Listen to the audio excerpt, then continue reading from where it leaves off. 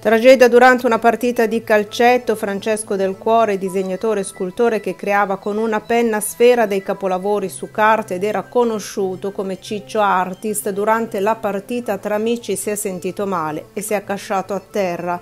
Immediato il massaggio cardiaco dopo l'arrivo del 118, ma per il 37enne non c'è stato nulla da fare. I suoi disegni variavano tra lo stile dell'espressionismo, surrealismo e arte moderna e venivano quotidianamente resi pubblici sulla sua pagina Instagram che conta la bellezza di 13.000 followers.